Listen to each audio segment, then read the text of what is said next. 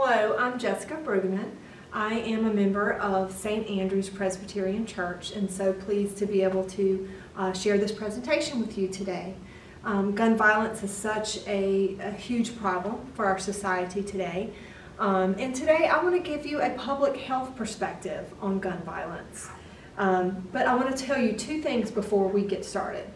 First, um, I'm not an expert on, on gun violence. And then number two, I'm not going to share any opinions with you today.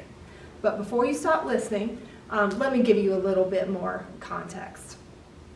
I am a trained public health professional. So while I'm not an expert specifically on gun violence, um, I have been trained to identify health problems, um, to really look at the research, to really break down and understand what's contributing to those health problems, and then to look at the evidence to see what strategies and what interventions actually work to address those health problems and improve outcomes. So that's the lens I want to put on gun violence for you today. The three questions that I'm going to focus on answering in today's presentation, number one, are what is the impact of gun violence on health?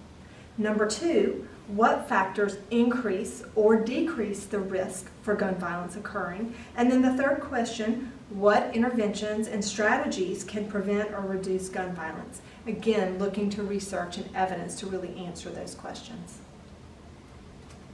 So what is public health? Let's just start with a basic definition since that's the lens we're going to be using today to really think about um, and explore gun violence. So public health, and this is a definition from the American Public Health Association, um, it really focuses on promoting health and wellness.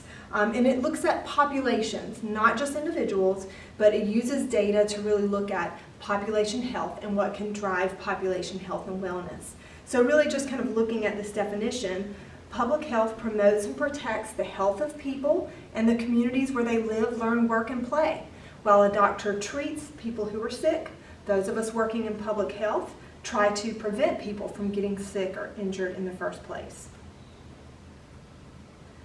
So again, using that public health lens, before we really dive into gun violence, let's think about other public health issues that have been addressed in our country over the past several decades really public health as a field started early on, early 1900s, um, when the U.S. Public Health Service was established. And the, the purpose of it was to really address health issues that were impacting our society at the time, our nation at the time. Um, and early on, um, the focus was on contagious disease, like polio, like the, this poster that you see here. Um, but there are many other public health issues that we're all pretty familiar with um, that have been addressed over the years. Things like smoking cessation, automobile safety. These are all vaccines. These are all public health issues. And I paint this, this picture um, for you to really just say, you know, there are many complex issues that we have faced as a nation, you know, in terms of our health.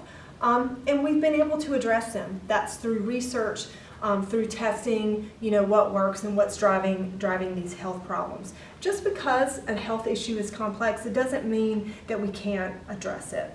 The key to understanding what to do is to really look at the evidence. Um, unfortunately, there is some research that we can use to guide us to really understand gun violence and what we, what we can do about it. So I just, again, before we dive into gun violence, I do want to um, you know, point out that um, injury prevention, I brought up motor vehicle accidents, I mean, that was something that affected our um, nation, still does certainly, but to a tremendous effect. There was an, you know, much greater issue with people dying in motor vehicle accidents. Um, and a thread of research and injury prevention that was federally funded really helped us to address that. Um, by really changing the design of roads, by enforcing, creating and enforcing policies that lead to, you know, safer um, vehicles. Um, so I think this quote is just really powerful that shows again the opportunity that we have as a community, as a nation, to address gun violence. Injury prevention research can have real and lasting effects. Um, over the last 20 years, the number of Americans dying in motor vehicle crashes has decreased 31%. I mean, that's pretty significant. Death from fires and drowning, another important public health um, injury issue. Um, that's reduced even more by 38% and 52% respectively.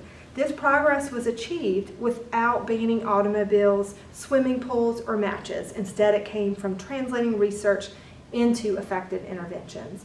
So there are opportunities to do things um, that are not polarizing, that are that really sort of look at the, the root of these public health issues um, and creating kind of a multi-pronged approach to address them. So how is gun violence a public health issue? I mean, how does it really, I mean, we know it impacts people who die from gun violence, certainly. We know it leads to premature death. Almost 40,000 people die in the U.S. every year. If you break that down further, 60% of that is suicide, and about 36, um, almost 37% is homicide.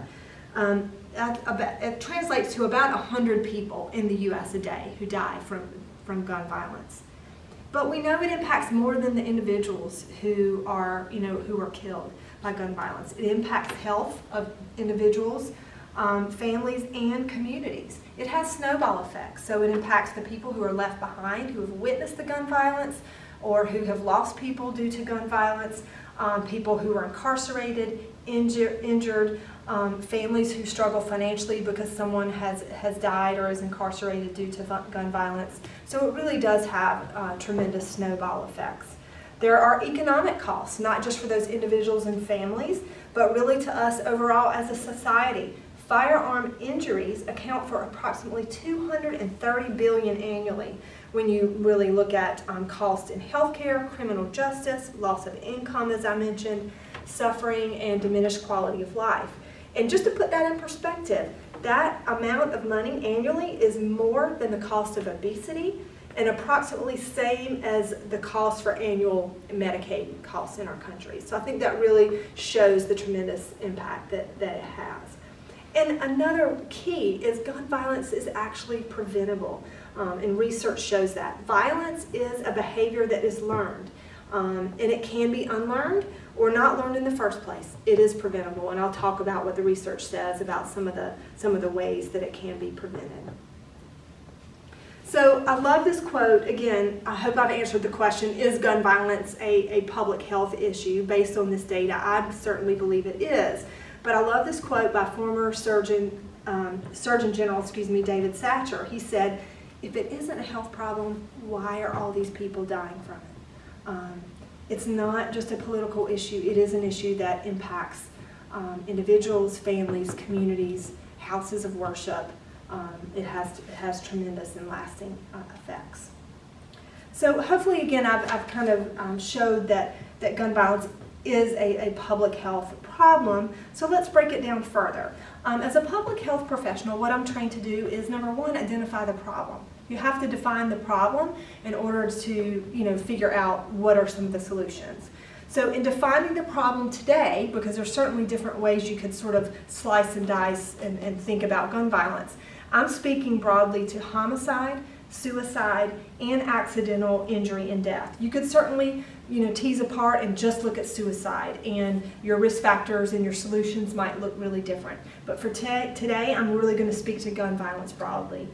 Um, and then the second step I took is to analyze the evidence. So, um, and I'll, I'll share sort of my sources and methods, but I'm really going to answer three questions using that evidence, that published research. I'm going to share data on the impact of gun violence on health, factors that increase or decrease the risk for gun violence, um, and interventions or strategies that have been proven to reduce gun violence.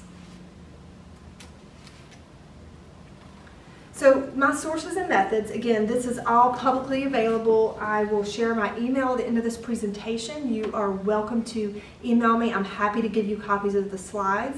Um, you'll see on the slides I'm sharing the data, where I have data, there are the sources are listed, and again, these are all publicly available. Um, I utilized a search engine called PubMed, which really is just a catalog of peer-reviewed uh, medical and behavioral journals. Um, peer-reviewed meaning they are looked at by um, unbiased healthcare professionals um, that really make sure the data and the articles coming into their journals are, are sound and valid. Um, and then I did pull some data and statistics from, from government and nonprofit sources. I prioritized uh, sources from within the past five to 10 years. Um, and again, the purpose of this is just to make sure that I'm really looking at unbiased um, information and data to share with you. Thing I do want to point out before sharing some data with you is that the research is not as robust as it could be, unfortunately. Um, about 20 years ago, government funding, federal funding for um, research into gun violence prevention was pulled. Um, some of you may be familiar with this, but a study back in 1993 was published showing that homes with guns were more likely to have a homicide or a, uh, uh, excuse me, to have a homicide by a family member or intimate partner. And following that publishing of data, um, Congress um, um, issued the Dickey Amendment, which basically restricted and pulled funding from the CDC and NIH for gun violence prevention. So really for the past 20 years, the research that has been done on gun violence prevention has really come from, from private and kind of third party um, organizations. So there is some research, um, but unfortunately federal funding plays a huge role in public health research and so there could be more. Um, interestingly though, yesterday I was really excited to learn this. Um, on December on December 16th, Congress um, agreed to fund 25 million in gun violence prevention research split between the Centers for Disease Control, CDC, and NIH, the National Institutes of Health. So this is really um, tremendous. And what the bill states, which I think the, I want to read this quote because it really, um, to me, validates that gun violence is a public health issue. Given violence and suicide have a number of causes, the agreement recommends that the CDC and NIH take a comprehensive approach to studying these underlying causes and evidence-based methods of prevention of injury, including crime prevention. So that's what the bill states, very exciting.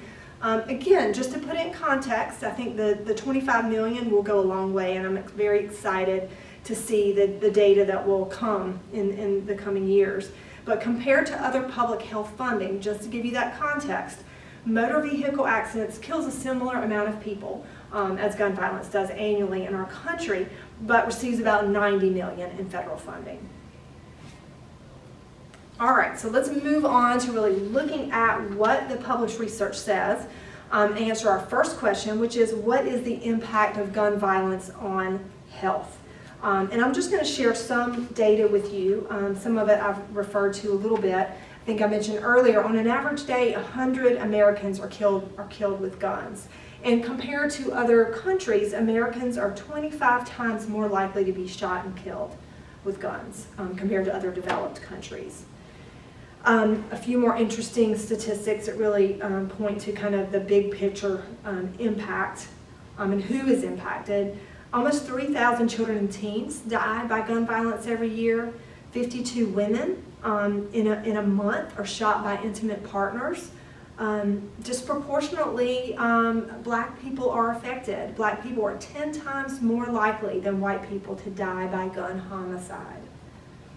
And then we know that over 50% of mass shootings are related to domestic or family violence.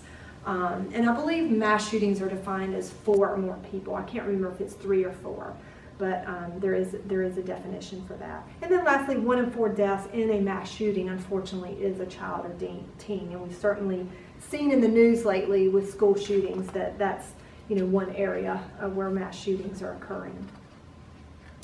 So now let's let's pivot and look at you know the impact of gun violence on health of individuals and communities. We know people die early from gun violence causes injury and disability. Um, you know, some people may not die, but they may suffer injuries um, and lasting injuries because of gun violence. We know that gun violence leads to mental health disorders, so post-traumatic stress disorder, substance abuse, depression, and anxiety.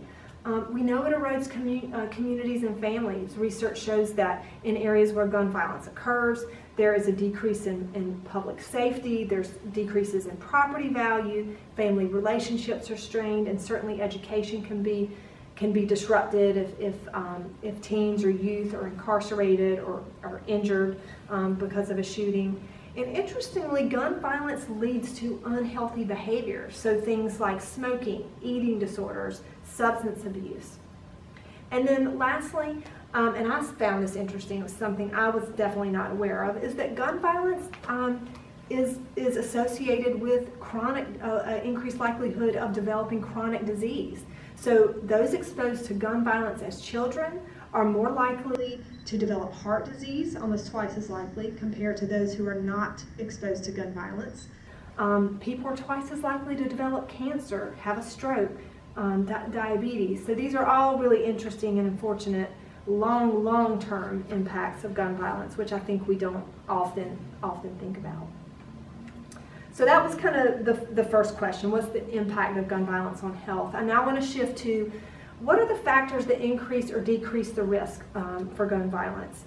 Let, it's just breaking down the problem a little bit, comparing it to another health issue, thinking about risk factors, heart disease, right? So heart disease, um, we know from research, risk factors include things like um, unhealthy diet, limited physical activity, genetics. So when you start to break down a problem, you can start to identify what are some targets for change that can actually Im- improve the issue. So, similar to that heart disease example, I'm just going to break down the research to, to um, share with you what are those risk factors that lead to an increase um, um, in gun violence.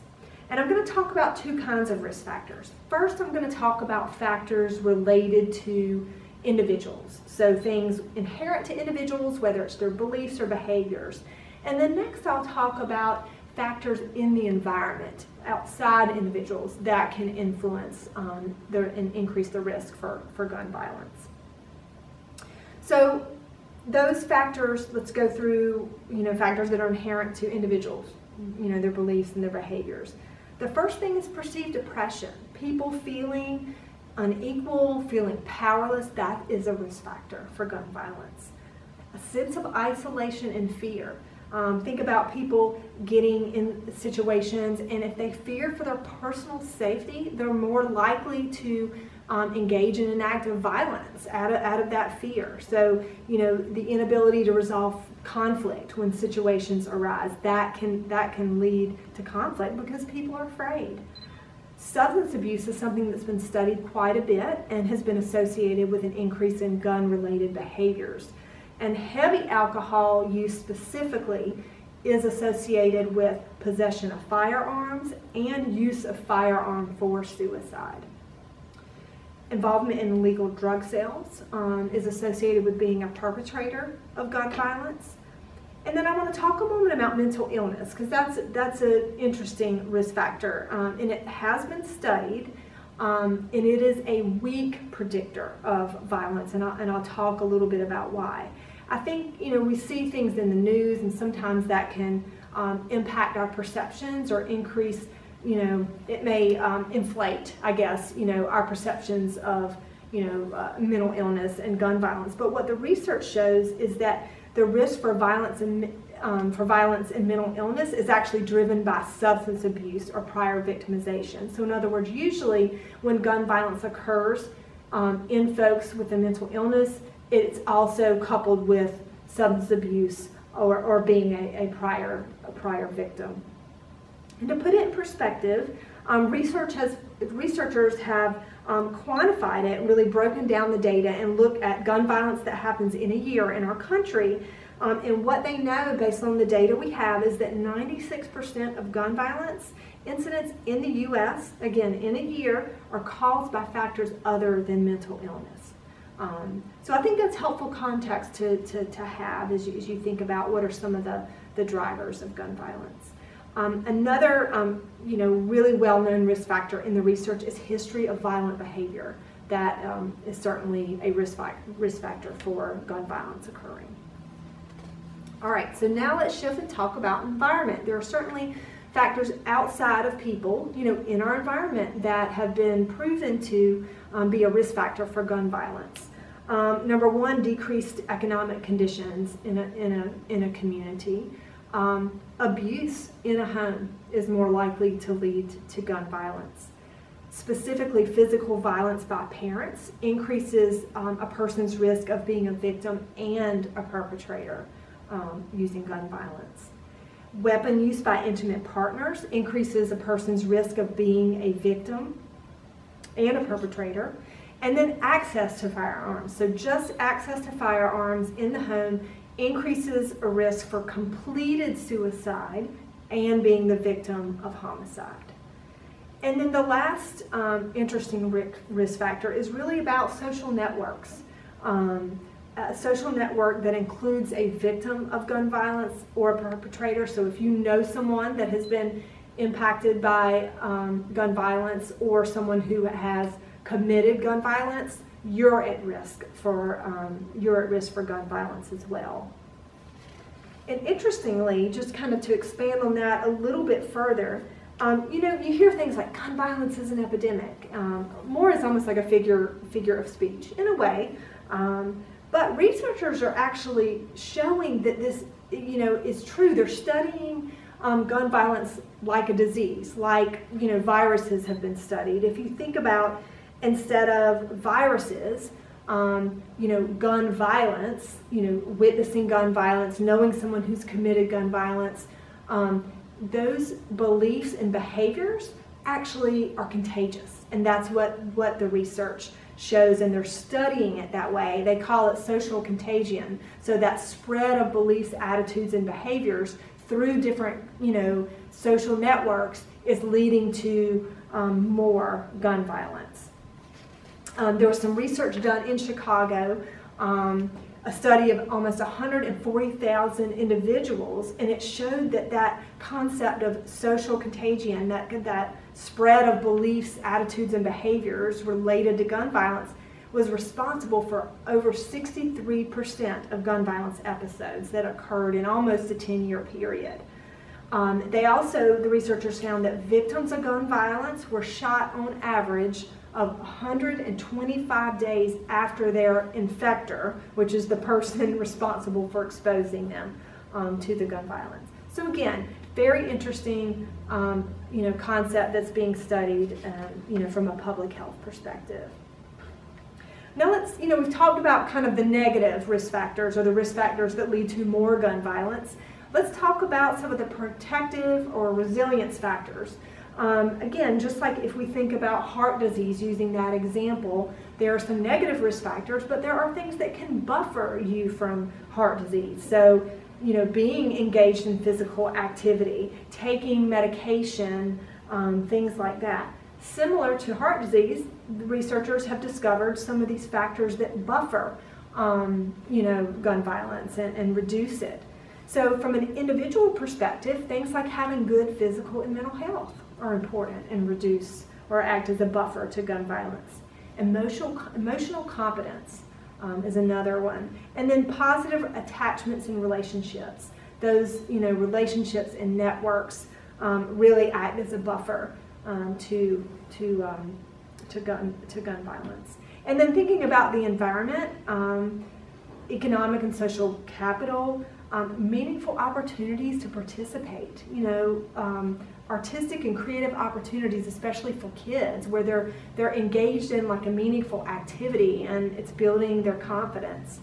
Relationships across groups, so across um, races, across ethnicity, across ethnicities, excuse me. Um, those relationships actually um, serve as, as a buffer against gun violence. And then positive media and marketing um, can certainly act as, as, a buffer. I think it's easy to kind of get focused on the negative, but hearing about the positive, hearing about good things happen happening in a community with individuals in a community, certainly that acts as, as a buffer um, to gun violence. So now that we've really um, looked at what are the risk factors um, for gun violence, I now want to use look at the research to, to answer the question of what do we do about it? Um, that's what's really most important. What can we do about it as individuals, as houses of worship, as a community? What can we really do to impact gun violence? Um, so I'll talk about some of the different strategies and programs um, that have been studied in the research and shown to be effective. I do want to point out, um, and I'm just going to focus on kind of one part today um, as, as we kind of wrap up. The evidence-based interventions, if you think about gun violence, they can happen um, interventions actually prevent it in the first place, which is where I'm going to focus, you know, to address those risk factors and those protective buffering factors I just spoke about.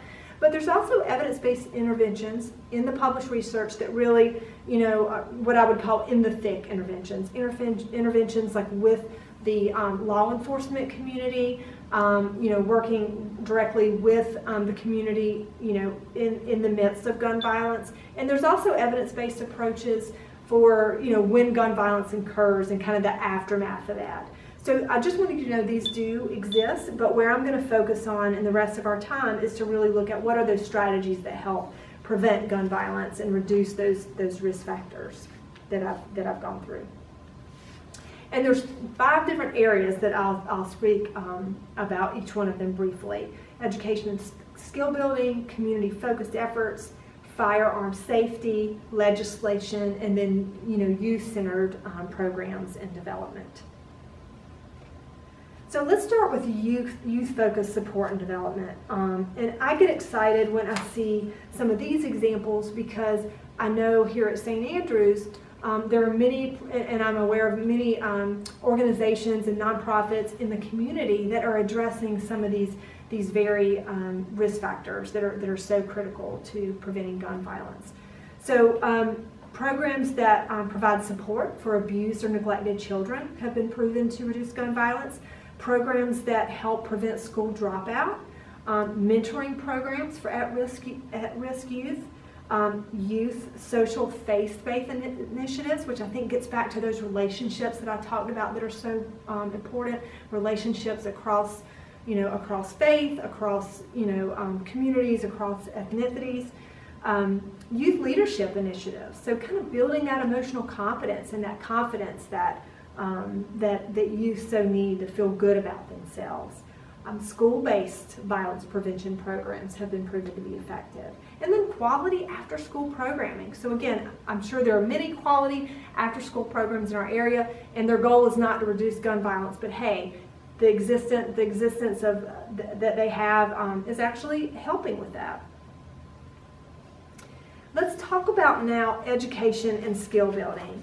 Um, so educational opportunities, especially around job training, again, I think getting back to that confidence and that emotional um, competence, people feeling good about themselves, having skills, parenting skills and conflict re resolution. I'm a parent. I know conflicts happen all the time, not just in parenting, but it can be stressful. And, you know, when you don't have um, adequate conflict resolution as an adult, as a parent, um, as, you know, with people you come across, those are the types of situations um, that can occur where conflict can happen. It's not resolved in an appropriate way, um, leading to gun violence. Um, people in schools and workplaces that are trained to um, identify at-risk individuals. So again, um, places where people, you know, um, interact with others, that can be an opportunity for seeing people who are at risk, who may need mental health services or some type of support. Um, and, and knowing, you know, call it um, mental health first aid, but essentially just knowing, you know, mental health community resources and directing people to that is, is a way to um, help reduce, reduce gun violence. And education around safe gun storage, that's been studied quite a bit and it actually does, um, it has proven to, to be an effective, um, you know, in reducing gun violence community focused efforts. Um, so I mentioned media earlier, um, but you know, positive media, especially on youth behaviors um, in, in a community, can have a real positive impact. Community cleanup efforts, patronizing local businesses because we know social and economic capital, um, as I mentioned earlier, is a you know is a um, risk factor for gun violence. Community-wide recreation activities um, sports, music, art programs, and adequate playgrounds. And I think this just gets back to youth having meaningful ways to apply themselves, not just in their homes and schools, but out in the community. Um, and then access to mental health treatment is certainly, um, in the community, is certainly a, um, a, um, a, a shown to impact or reduce gun violence. Firearm safety, so actually counseling on, on gun safety, people really just receiving education. It actually leads to people storing um, firearms properly, Um, and there are four specific gun storage practices that have, there's a lot of strong evidence here pointing to um, reducing suicide attempts and reducing unintentional injuries, especially in, in children. Those four um, practices are keeping the gun locked, unloaded, storing ammunition locked, and then keeping ammunition in a separate location. And then legislation, kind of the last area I want to speak to. Um, this could be, a, you know, a controversial or polarizing, you know, topic, but there's actually been research to show what works and what doesn't work from a policy perspective, and there's actually a lot of common ground, believe it or not, um, between gun owners and non-gun owners, and I'll, I'll, speak to some research around that as well. So in terms of legislation, um, I'll just go through a few examples. A systematic review that really looked at 34 different studies um, showed that states with stronger firearm laws were associated with reduced firearm homicides, um, and the strongest evidence were for um, laws around universal or strengthening background checks and requiring permit to purchase. So those two specific policies um, led to the greatest reduction in, in firearm homicides. A national study, a different study um, examining state level policies, showed that waiting periods actually reduced homicides by 17%. Um, and then this is relatively recent. The RAND Corporation, which is a nonprofit group that does a lot of research um, in our country to really help inform um, policy and legislation, they determined um, through their research that child access prevention laws reduced self inflicted and unintentional firearm injury in children and youth. So those child access prevention laws are, are effective. Um, and then on the flip side, we know that from research that weaker state gun laws um, are associated with increased rates of suicide and increase in fatal police shootings. And then there is, you know, quite a bit of legislation around, you know, aimed at high-risk groups that is, has been shown to be effective as well. So, for example, looking at domestic violence offenders and targeting those individuals. And, you know, despite, again, the kind of the polarizing, um, you know, uh, perspective and, and discourse that's happening in our country on the topic of firearm legislation, some researchers out of Johns Hopkins conducted a study. It was a, you know using a random sample, a telephone-based survey, and they got a sample of over 2,000 gun owners and non-gun gun owners, and they asked them about their perspectives on 24 different um, gun policies to get their opinions of whether they would support it or they not. And then they compared the differences on all those policies between gun owners and non-gun owners to see you know, how far apart are we? Are there areas of common ground, or are there really, you know, is there really, um, you know, a big um, gap in, in what people are willing to support? Um, and what they found is that there was really high public su support for a number of those areas. Um, universal background checks, almost 90% of people um, were, were in agreement on that. Again, looking at gun owners and non-gun owners.